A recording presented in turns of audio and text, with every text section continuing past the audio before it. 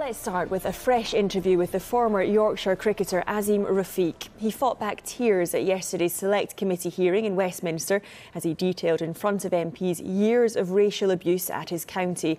In a harrowing hour and 45 minutes of evidence, Rafiq told of his anguish at what he described as inhuman treatment at Yorkshire. The sport as a whole is now facing claims of institutionalised racism.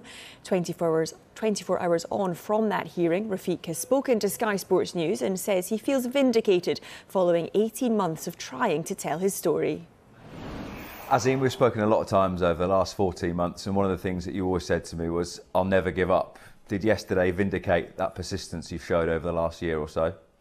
Um, yeah, hopefully. Like I said, yeah, I, well, I, I was never going to give up. Um, that's I was very uh, confident in my truth uh, and what had happened, and uh, it was important that not just for me uh, and my closure, but for for all the future kids that I kept going and kept going, shouting from the rooftops uh, on them winter nights where literally no one was listening. Um, I feel yesterday, for the first time, maybe people have started to listen. One of the things that everyone heard, one of the most striking parts of your your testimony yesterday, you said racism cost me my career. I saw you get very emotional when you said that. Even in your witness statement, it says the club's culture of institutional racism cost me my confidence, happiness, my sense of security, and almost my life. To hear yourself say those words out loud yesterday, how difficult was that to come to terms with? Yeah, really difficult when I got asked that question. Um, it hurts. It really does. Um, I I've tried to not talk about my cricket uh, throughout this process, but um, I think especially the white ball game, uh, my performances are there in front of everyone uh, and my leadership, leadership skills as well. It, it does hurt, but like I said yesterday, uh, whatever's written for me, and clearly this was written for me, and I think this is bigger than any runs or wickets I could have ever got, or any World Cups or Ashes as well. Did it feel like that at any point last night when you maybe had a chance to think about it, the magnitude of what you've done? Um, I mean, I spoke to my dad and my wife, and that was nice. Uh, they were proud, and I didn't really. I, th- I don't think I'm really still that aware of how Um, much as it struck home with so many people. But like I said, it, oh, we've got to make sure it doesn't become about me and it's more about how now we listen to because I do feel there's going to be a little bit of floodgates and a lot of victims of abuse are going to come forward and I, we need to listen to them, hear them, support them and then work out a plan as to how we're going to make sure this doesn't happen again. Well, let's talk about some of the feedback I guess you've had since yesterday. Um, some of the people named within that evidence will have known for months that they're implicated in this. The Andrew Gales, the Gary Ballances, the Martin Moxons. Any of those main names, have they been in touch since yesterday? No, um, and I don't expect them to be. Um, I still don't think any of them think they've done anything wrong, which is quite. It just shows them for what they are, uh, the arrogance uh, and the complete disregard of anyone else but themselves and their views. Um, yeah, like I said, a lot of people have known. Uh, that's why some of the apologies are. I mean, anyone that apologises, I accept. Um, that's all I've ever wanted, but it does make you think. Like you've known this for a good 14 months. Uh, if you were genuinely sorry, you would have done it. Um, and but like I said, anyone that apologised deserves a second chance. And that includes David Lloyd, who I believe spoke to you last night. What was that conversation like? Yeah, he he rang me last night. Um, I told him honestly what I thought of uh, his comments. Um, they were completely out of order. He, um, I feel like he was briefed. Well, I don't feel like he told me he was briefed by uh, someone close to the club, uh, which is disappointing because even that gentleman doesn't know me that well. But I think the overriding thing was he rang, he apologised, I accepted his apology, and um, he's committed in this space to make a difference, and that's a positive. Um, there are other names that, that, came up within the course of you giving evidence yesterday, and, and, you were asked about Joe Root, and you said he's a good guy. But w- do you think we're now in a society where it is no longer acceptable to, to turn the other cheek, to pretend or say you haven't heard something, or to, to allow racism to continue, even if you're not directly involved? You have to go and put a stop to it. Yeah, like I said, um, Root is a good man, but it just shows. Um, how bad that that environment was that even a good man like him didn't see uh, didn't feel like it was right to stop it, um, and doesn't remember it probably uh, because it won't mean anything to him. Um, look, the bystanders. Um, if you from now on, especially if you continue to just be bystanders, and you're view as much of a problem as the guys who were perpetrators. I know you've said, and you've always said to me, this isn't a witch hunt. This isn't about me against a certain person. It's about an institution. But in terms of a one-word answer, should Gary Ballance ever play for Yorkshire again? Should Andrew Gale ever coach a day? Should Martin Moxon ever continue to work there again? Um, I don't think Martin and Andrew can. Um, I think Gary, if he um, apologises properly, um, has some sort of acceptance, I, I, feel he should be given some sort of accountability, whatever that may be. Um, I think he should be allowed to play. Um, but in terms of uh, Andrew and um, Martin, I don't think um, it's possible for Yorkshire to move forward with them still in there, knowing full well what sort of role they play in that institution. Talking of the institution, there were, there were parts of Roger Hutton's testimony yesterday that, that absolutely baffled me, but maybe don't surprise you. He didn't know about the Fletcher report that was published in 2014. He didn't have the power to remove the likes of Mark Arthur and Martin Moxon and he didn't realise that the terms of the investigation has been changed and that the investigation has been asked not to directly address the question of institutional racism. I mean, that is the definition, isn't it, of institutional racism?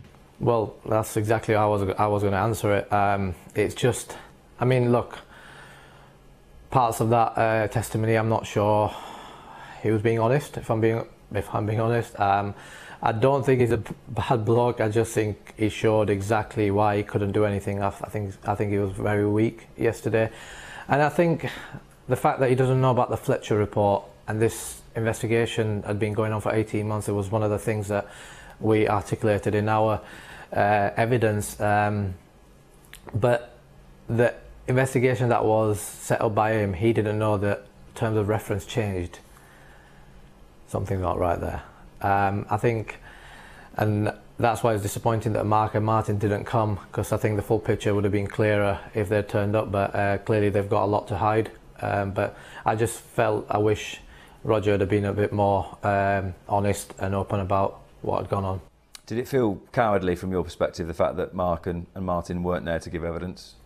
Well, I mean, throughout the 16 months I've spoke to you at length, uh, they've used local journalists at, at Yorkshire Post to say that how the, uh, they've got their side of the story, blah blah blah, and they had an opportunity yesterday to come down here under parliamentary privilege to get their side of the story across, and they didn't. Um, I think that should tell all the Yorkshire members that are still standing by the club or everyone. And you know, even if after yesterday and the fact that they didn't turn up, you still think that they can be part of your club, then I'm sorry. That just shows how big the problem is, and you're not just part of the problem; you are the problem you said that you, you, feel, and I'm sure you've heard over the last 24 hours, that the floodgates might well open. How many more counties and more players do you think might come forward, and how many more counties might be in a lot of trouble over the coming weeks? I think I think you're going to get it in uh, into the hundreds and thousands possibly. Um, I think the trouble thing, it's the way they handle it. We've got here because of Yorkshire's handling of this. Um, yes, what happened was completely unacceptable. But the way they've handled it has made this issue a lot, lot bigger uh, and showed them for what they are. So I think um, it, it just depends how the game, uh, individual counties and the ECB handle it. I think ECB's realised that they messed up as well, and they're not going to let another episode like this occur. Final few questions then. Um, you talked about the ECB there. Tom Harrison promised yesterday to sort this out quickly. Lord Patel is now in place as the chair of Yorkshire. Do you back Lord Patel to be able to turn the county round? And do you have any confidence that Tom Harrison's words will ring true? Um, look, Kamlesh, right up to now, everything he's done uh, gives me a tiny little bit of hope. But I know the scrutiny is on at the minute, so they've got no other option. So I think he's going to be judged in a f- weeks and months. But we're here watching, um, and if it doesn't happen, be the first person to call it out. Um, I think the ECB need to accept that they've messed up as a start, and again, they've got a massive responsibility. As I said, it's their game. Um, the game relies on them, um, and if it means taking actions like taking international cricket away, or taking actions that which has far bigger implications, um, then they have to take it because actually this should be the first thing on their table and not commercial deals and corporate um, stuff. Um, I've felt your frustration so many times over the last year. You, have spoken to me directly. I've, I've, heard it in your voice. Do you think a day like this can can help you find some peace? Yeah, I think yesterday's got me some sort of closure. Um, And look, I, I just, I just want to make sure that this is not another. Oh, we're going to set up an inquiry. I'm not. We're not interested. We, it's clear. It's there. We're not interested in PR initiatives. We want tangible, proper human action, and all we're asking for is to be treated fairly and equally. I don't think it's a lot to ask for. Lastly, then, the other thing that, that really struck a lot of people yesterday is that you said, I don't want my children to be involved in cricket. Do you ever see a day where that might change? Um, I hope so, um, but I'm a parent, um, and until I see actions, until I see the game changing, I don't want my son to have the mental scars that I've got. No chance. Um, so as it stands, um, I hope so, but until the game changes, um, that won't be happening. MP Julian Knight, who chaired the DCMS Chair Committee in which Azeem Rafiq gave his testimony yesterday, wants complete governance reform of cricket in this country and thinks the sport needs an organisation like Kick It Out to tackle racism and discrimination. We need to ensure that going forwards that we have a sport that is transparent and, and clean. And that means ultimately complete governance reform, in my view. This problem is clearly more deeply rooted than even I thought when I started off in, in, in this inquiry a few months ago. And what we need to do is ensure that the ECB actually has the powers in place and the oversight in place to get a hold of the counties so that we do not have a repeat well, the panel at yesterday's hearing was made up of seven men and two women, all of whom were white. The lack of diversity on it has been criticised, but Knight says there was nothing he could do about it these individuals are elected by parliamentarians. So we, I have no choice as chair over who is actually on the panel.